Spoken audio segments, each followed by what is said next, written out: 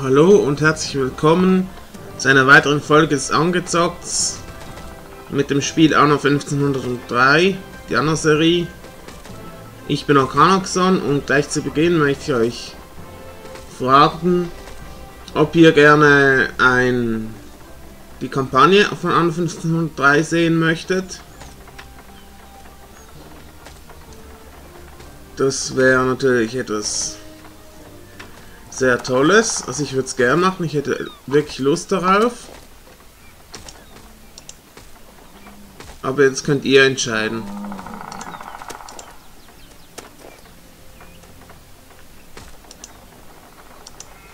Der hier ist hier, der ist leer. Dann schauen wir mal, was hier so ein Handel. Vier Tonnen Eisen. Was haben wir an Eisen über?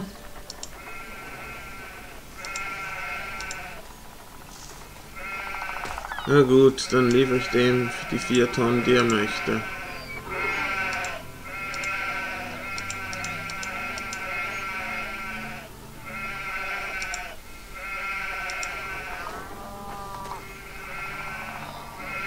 Wir erwarten euren Befehl.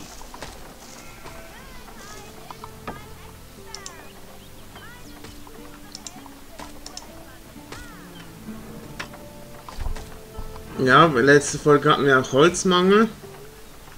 Ich frage mich, wo ich hier ausbauen soll. Wisst ihr was? Ich vergesse das hier unten. Es sind zwar 3, 4, 5 Markthäuser plus hier die zwei noch. Die erreichte, glaube ich, auch noch. Also fünf Produktionsbetriebe, beziehungsweise die Mine zähle ich jetzt auch dazu. Den, den Steinbruch nicht. Obwohl das ja natürlich hier... Doch, Steinbruch heißt sogar so. Ziegelsteinbruch.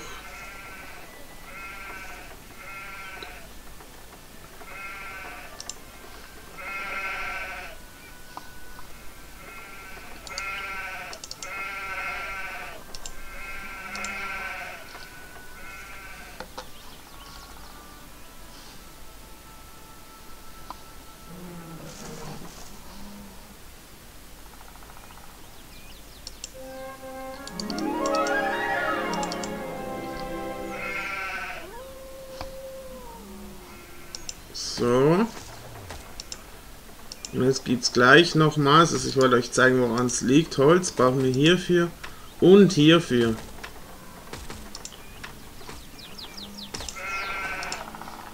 Oh, und der hat schon Militär.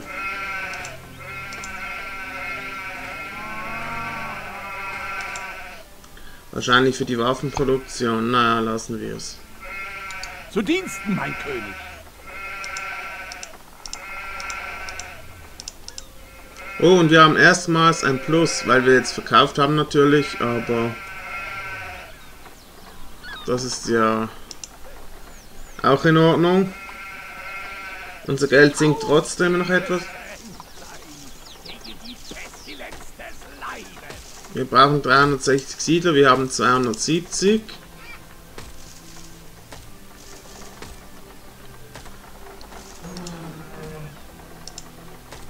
Alkohol 43 Tonnen, 62 Tonnen.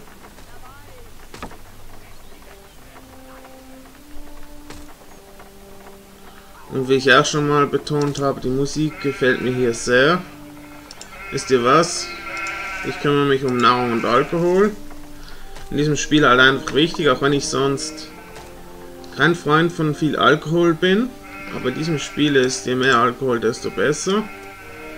Also einerseits damit ihr es handeln könnt und andererseits damit ihr auch ja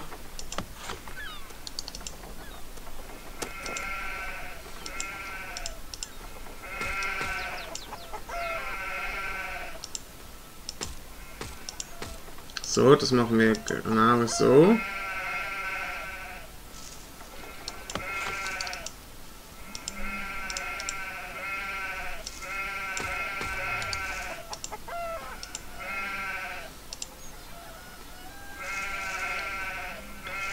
Das wird dann, ich würde mal sagen, Whisky oder so, wird ja, nein, Moment. Also das Kartoffeln gewonnen. Gut, ist eine kleine Farm, also kann alles mögliche daraus gewonnen werden. Ich dachte immer, es sind Kartoffeln, weil hier Kartoffeln angezeigt werden. Was ist Kartoffeln? Irgendein alkoholisches Gebräu. Aber ich wäre jetzt für Bier zu haben.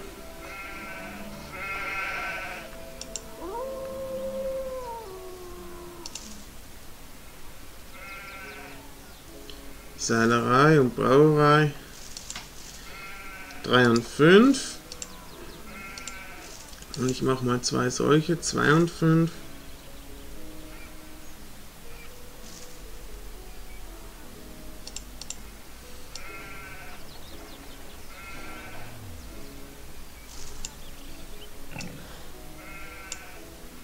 So.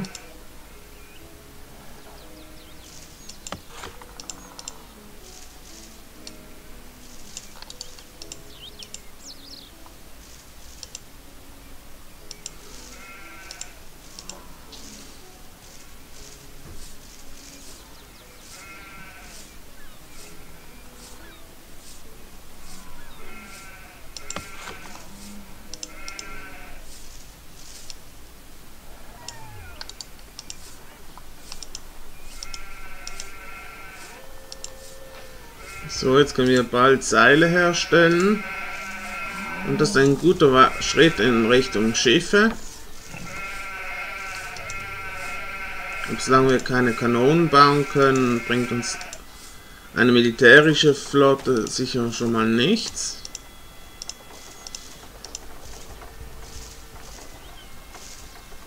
Ich glaube 19 ist momentan das Maximum was sie haben können. 18 Wissen.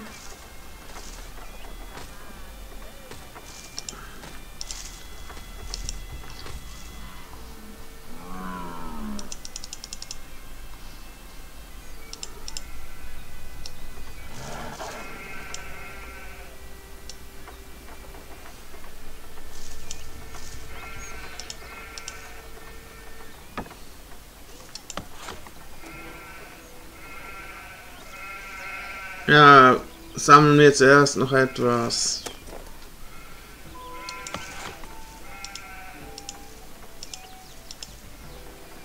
Etwas Hanf. Nicht für das, was ihr vielleicht denkt oder was ich jetzt denke, sondern einfach für Seile. Nicht für Kleidung. Nicht für was anderes und auch nicht für sonst was.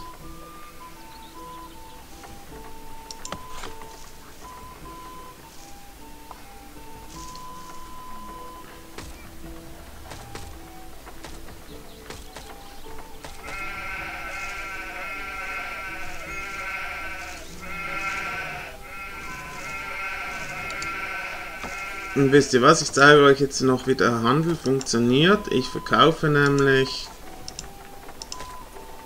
alles bis 30 Tonnen. Ja, ich denke 6 geht auch noch. Oh, das geht gar nicht. Na, dann lassen wir es bei 8. Weil wir haben hier muss auch gesagt sein, einen fahrenden Händler. Und der kauft uns Waren ab.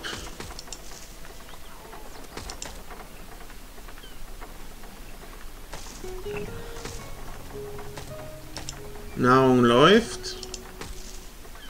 Alkohol auch.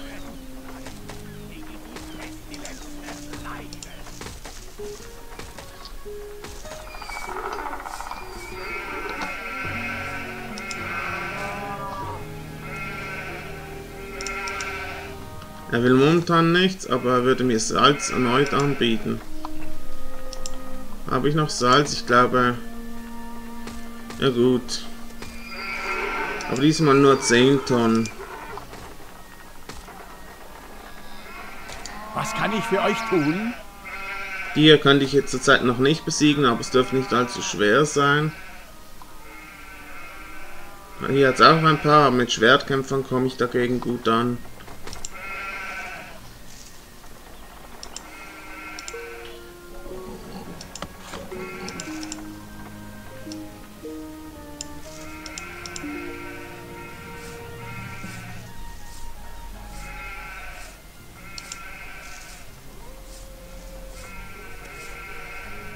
Schon.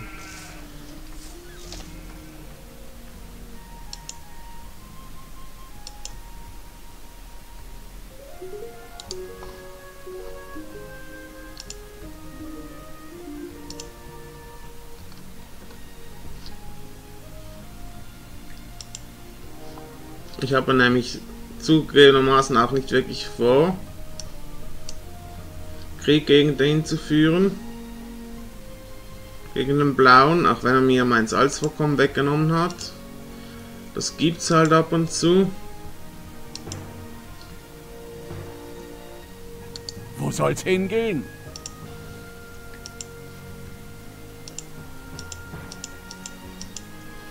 Wenn ich Ctrl F drücken würde, könnte ich hier ausbilden. In eurem Städtchen wohnt man gerne.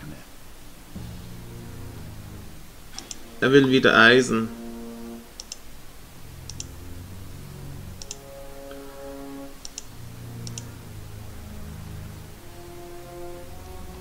Dann gehe ich auf Bögen und irgendwann mal auf Feuerpfeile. Ich bin mir nicht genau sicher, wo genau die sind. Aber wir haben jetzt zu wenig Wissen. Aber die Wissensobergrenze liegt auch bei 19. So.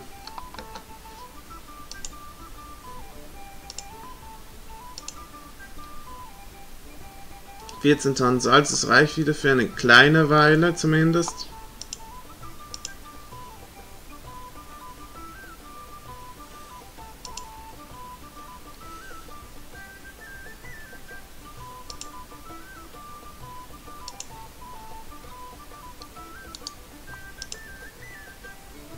Ja, dann lassen wir es halt.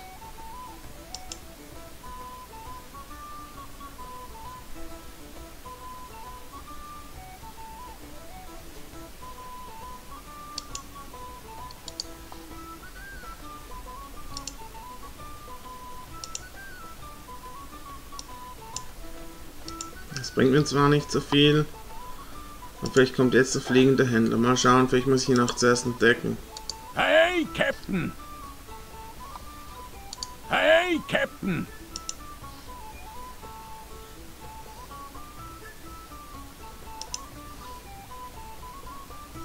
Hier ist halt auch das Scout-System. Also mit dem Scout hier.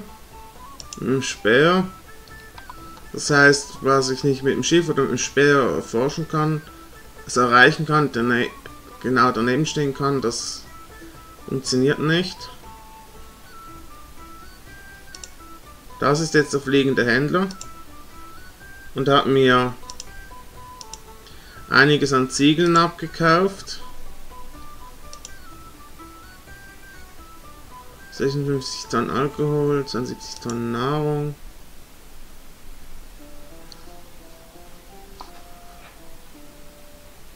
Ich frage mich, was ich hier noch verkaufen könnte, gewinnbringend.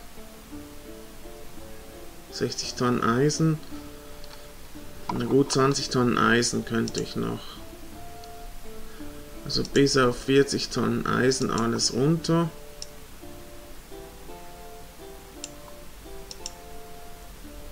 Dreißig, sagen wir 29. Weil wir sind jetzt nur noch knapp bei 30.000.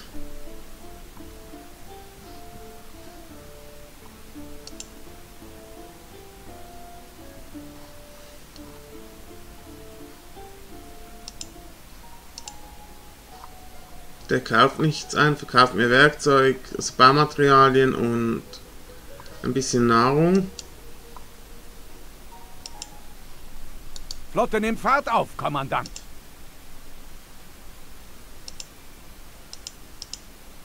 Der darf auch mal zu mir kommen. Wenn er denn tatsächlich. Ah, nur 5 Tonnen Salz. Okay.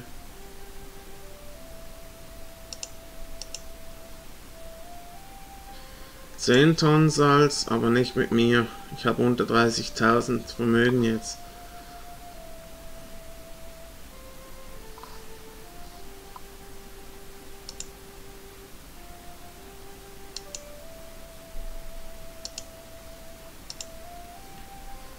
Und bald, wirklich bald, gut, das kostet mich 50, also hier, um 1600, das ist mir ein bisschen zu teuer momentan gerade. Auch wenn dann die Kapelle auch Kirchenfunktion bekommen würde.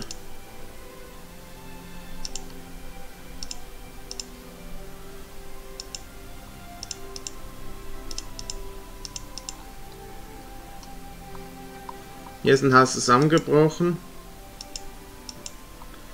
weil ich zu wenig gut darauf geachtet habe, auf die Bevölkerung.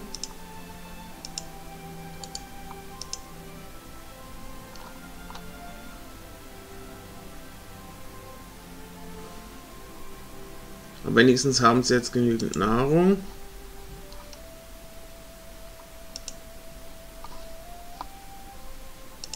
Eine zweite Schule wäre nicht schlecht.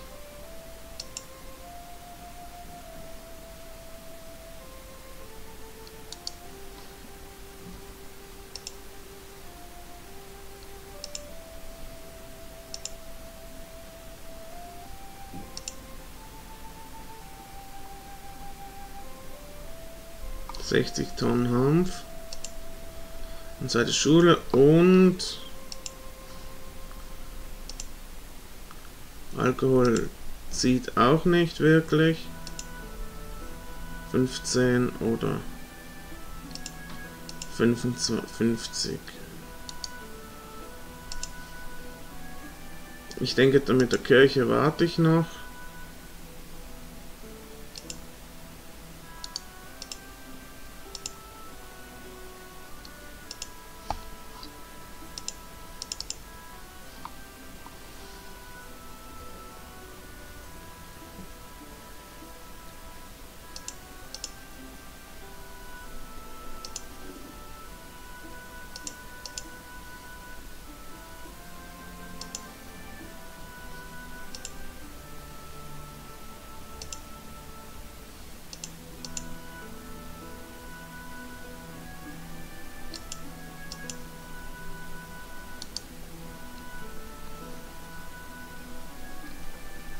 Wir bringen ein paar tausend Gold, damit wir uns ein paar Sachen leisten können. 120 Goldstücke, auch nicht gerade wenig.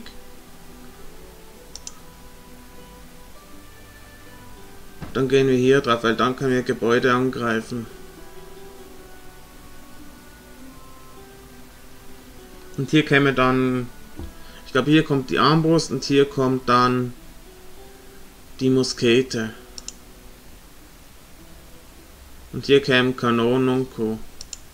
Und Mörser. Soweit es mir ist. Aber dafür brauche ich die Universität. Das Volk schätzt eure Regentschaft. Sehr gut, das habt ihr doch gehört, oder? Das Volk schätzt meine Regentschaft. Naja, ich denke, wir sind auch hier am Ende einer Folge. Stadtausbau. Oh ja. Das hat gut funktioniert. Wir haben altes Eisen. Und auch sonst noch, ich glaube es war Ziegel, habe ich verkauft. Nächstes Mal bauen wir den Handel aus, denke ich mal. Weil wir auch eine gewisse Überproduktion haben. Und der hat auch was gekauft. Ich denke, es waren Ziegel und... Nee, Eisen weniger. Es sei denn, ich habe hier gerade wieder was produziert. Also eine gewisse Menge. Gut. Mit einem Blick auf unsere gesamte Siedlung verabschiede ich mich. Ich hoffe, ich hoffe es hat euch gefallen.